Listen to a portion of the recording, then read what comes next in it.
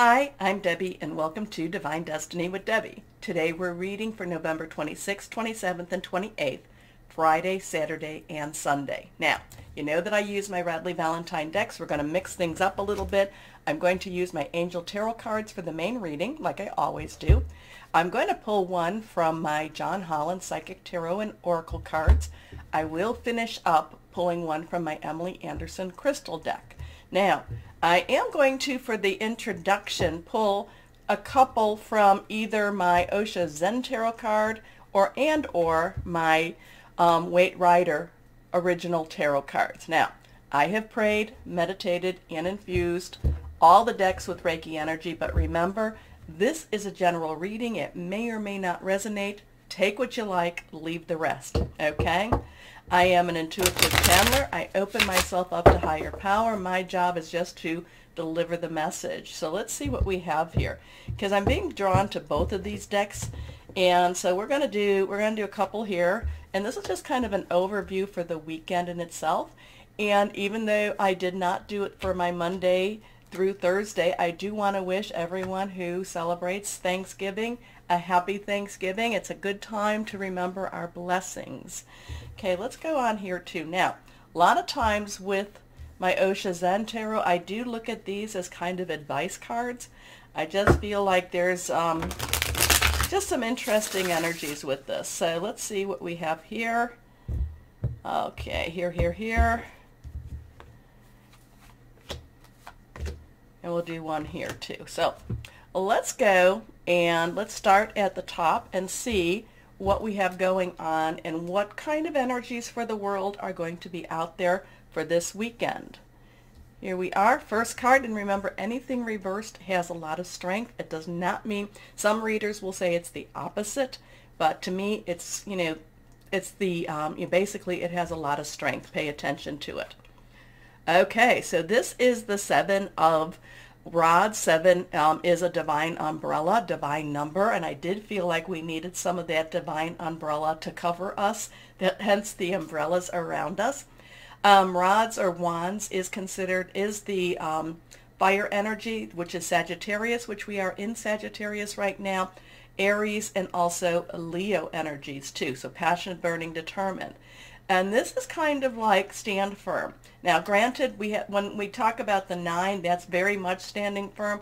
But this one is also just guard what you have, watch what you have, and you know, and just kind of be aware of what it what it might be coming against you. Okay, this one, this man has the one um, rod or wand, and there are six that are in front of him which could be that there are six coming against him or there are six that are even in fact guarding him.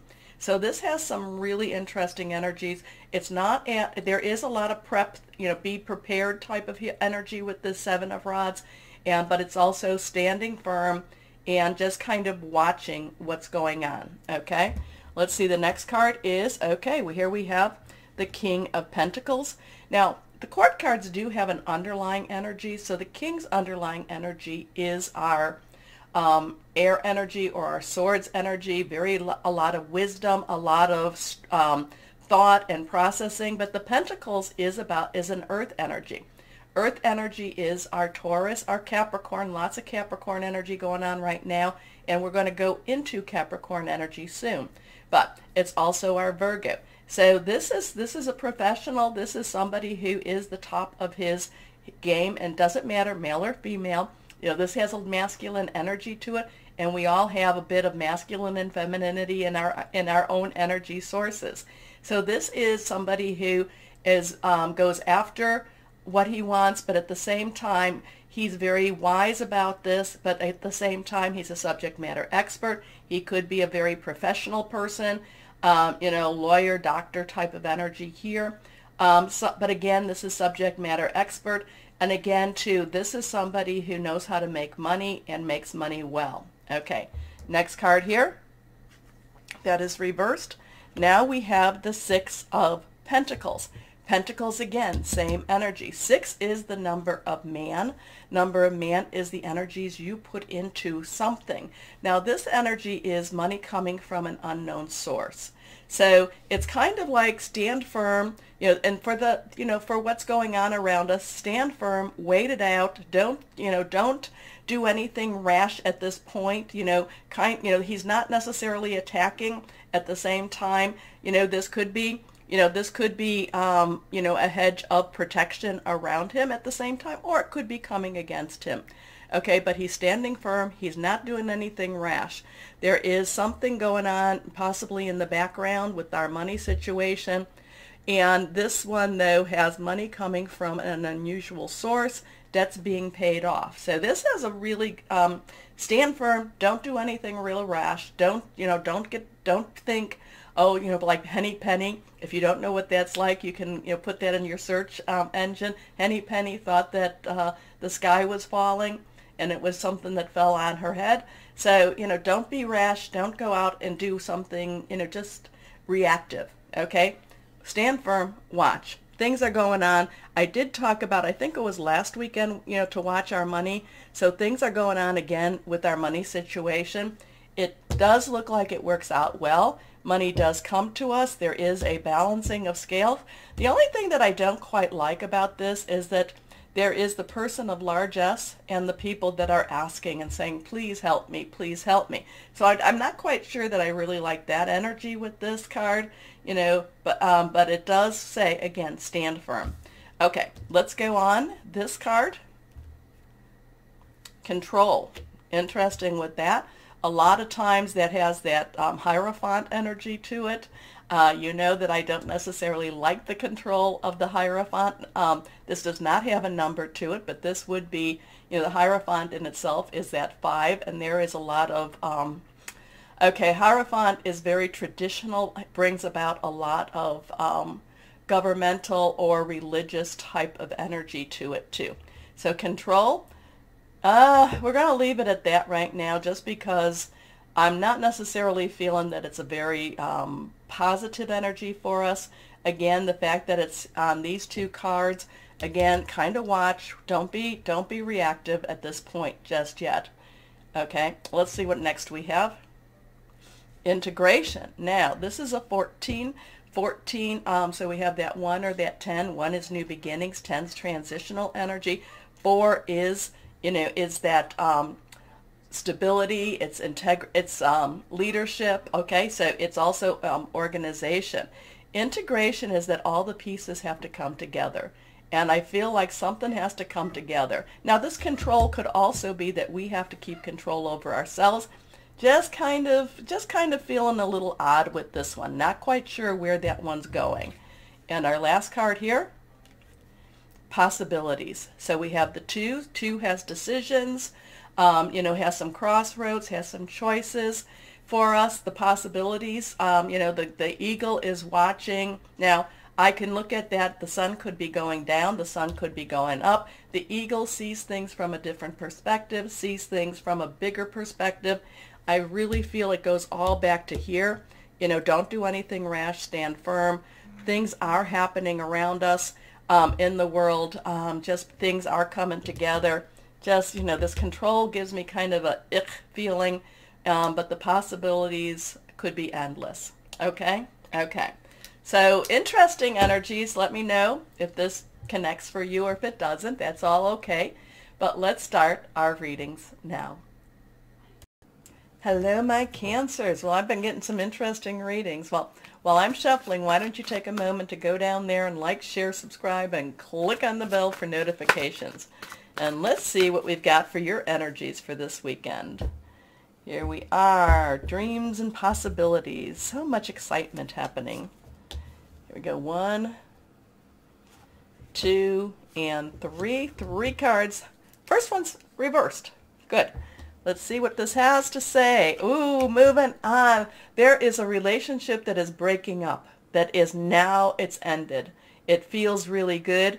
Um, you know, now this could be a work job, career, it could be personal, intimate, romantic, it could be family or home, and it just feels like it's now done. And the interesting energy is kind of like, I, it's like every time my cancers, you tried to move on, it just kept pulling you back. And it's kind of like, I don't know if you just are that much stronger and you're just kind of like, no, or if you've gotten out your saw and been breaking up some of those ties, or if you've been doing what I asked you to do the last time and putting it back, putting it out there, I do feel like there's a lot of finished business is finished type of energy. Okay. Air energy is, of course, our Aquarius, our Gemini, our Libra thought processes. Yes, we still have that, you know, Saturn in Aquarius. Jupiter is coming to its end you know, in Aquarius, it'll be moving forward. So there's a, you know, so it's trying to still, Jupiter wants to give largesse. Jupiter wants to kind of provide fortune and stuff like this. So it's still given kind of a big push towards that. Um, you know, it's also, again, you know, thought processes, it's hearing news. So you could hear, you could be hearing some news um, about somebody, some major changes in whatever that was, is this a job energy? Is this a personal? I don't know. Whatever that relationship is, you could be hearing news that it's it's now it's now done. It's done. Anyway.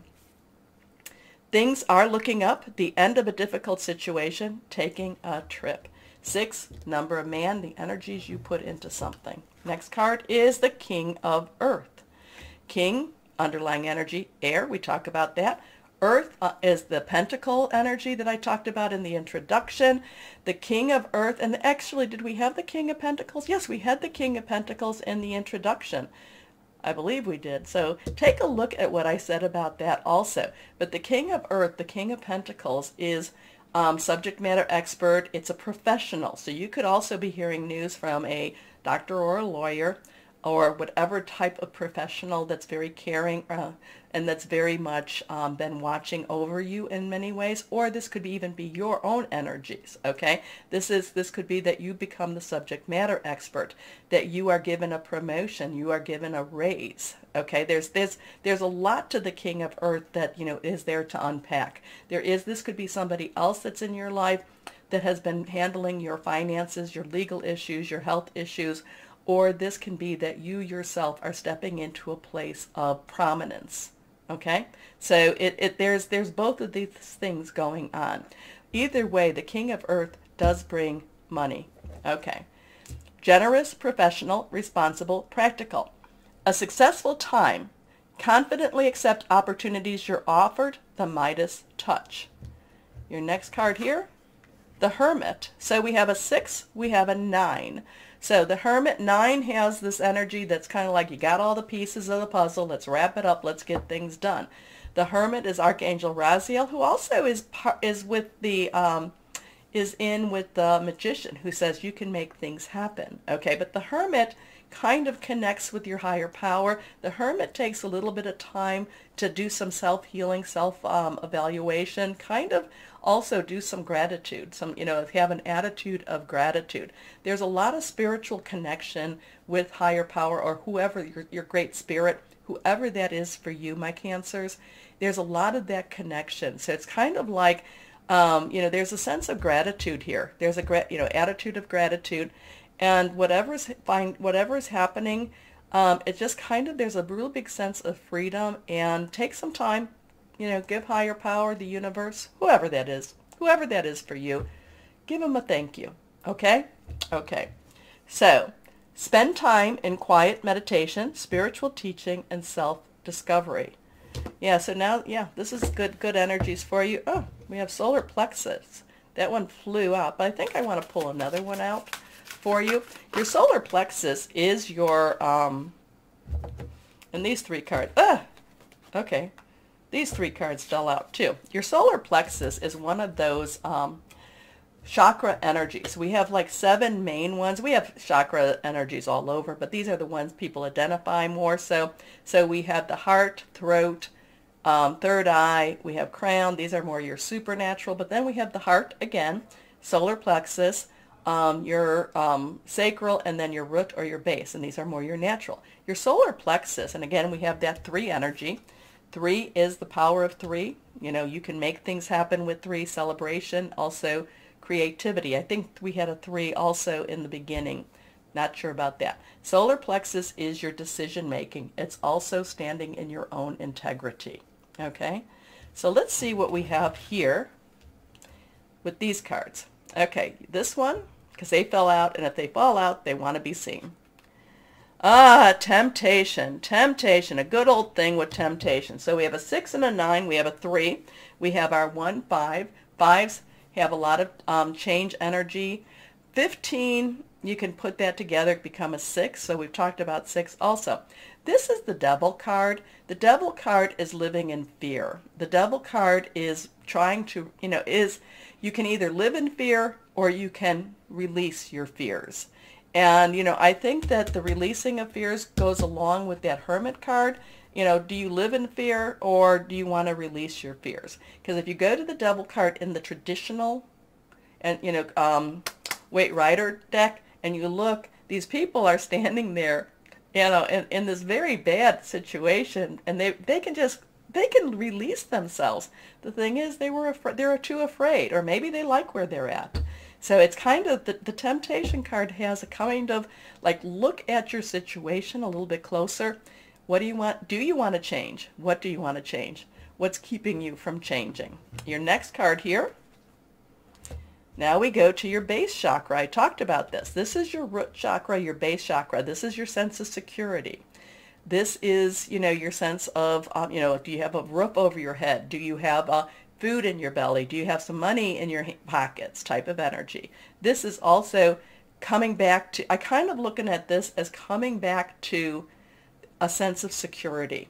I'm, I'm, I'm kind of looking at this as this is your integrity. Again, these come, came out later. I kind of look at this as leaving some fears behind. Yeah, do we leave all of them behind? No coming to a sense of security, coming to a better place in our lives. Okay? So our next card is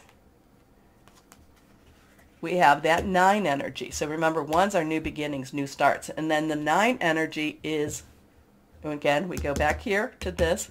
This would be your nine of clubs, your nine of wa- uh, nine of clubs, nine of cups, your nine of water. This is the wish card fulfillment of wishes. Things are changing. This you should hear some news this weekend. It's going to be some big changes. It's going to be very freeing changes. You're you're going to bring back some more of your. You're going to have more of a secure base.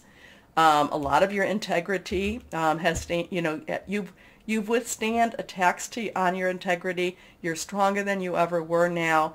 You're leaving fear behind. You're moving on. You're creating a more secure base and your wishes are coming true. So make sure you keep putting that out there. Okay? I like this.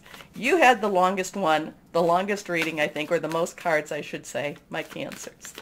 So let's see what we have, what crystal or energy we have for you.